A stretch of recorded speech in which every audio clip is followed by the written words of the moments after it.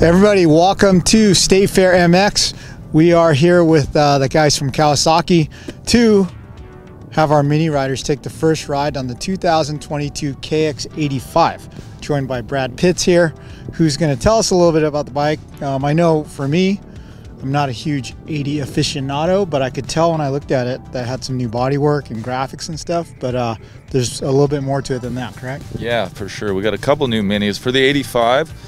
Uh, probably the first thing you'll notice, like you said, is the graphics. It's got the new fresh graphics, but also the radiator shroud design is, is, slightly different. So aesthetically, it looks different, but it's also to help with improved cooling. So that's probably the first thing you'll notice. Visually, uh, visually too, you might notice it's got new MX33 tires, so that's new for uh, for this year as well.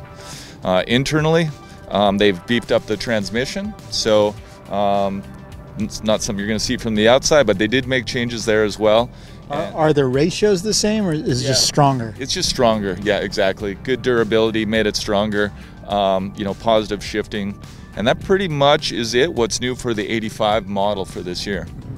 Okay, so there is a all new model, the uh, KX 112, which uh, we'll like switch here on the stand right now.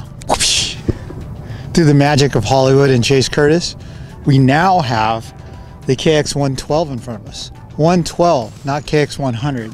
So it is a uh, larger displacement engine and uh, a more serious super mini weapon.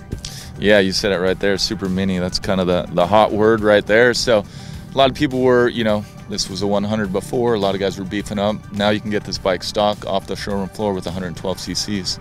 Uh, the way they did that is with a longer stroke and they also uh, they did a lot of changes not just a longer stroke it's uh, a new piston uh, connecting rod, a bunch of stuff's been done inside the motor.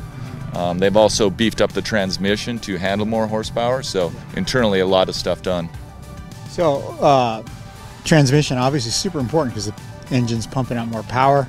The kids are bigger, more aggressive, probably harder on the clutch, throttle, shifting.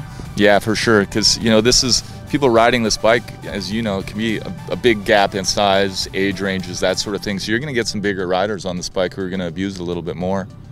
Okay, so the KX 112 uh, has the same radiator shroud, changes to Dunlop MX33 tires, um, obviously larger wheels. Uh, how long has the 112 been available, or is it available yet? Yeah, it's available now, hitting dealerships. So this is the first year for the 112. So that was a brand new, I guess, model designation for this year. Previously, it was a 100. So two uh, good minis in the lineup now with the 85 and now the 112. Okay, so we are going to turn our two mini bike testers loose on these two bikes at State Fair MX. My question though, when is that KX450 SR coming? Uh, there might be someone breaking one in today. So uh, yeah, bring my gear. Yeah, yeah. You might see them soon. Uh, yeah, they've been they've been uh, showing up. Um, dealers are starting to see them. We're starting to see them at the same time. So we'll be getting one in your hands very shortly. Okay, so the standard KX450 won our Bike of the Year honors, and I know that SML is one of your favorite media outlets. So I heard there might be only two of them in the loan pool, and I know one's coming our way.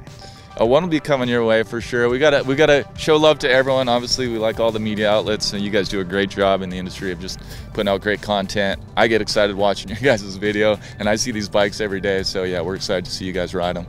Okay, guys, we're gonna turn the guys loose. Thanks for watching.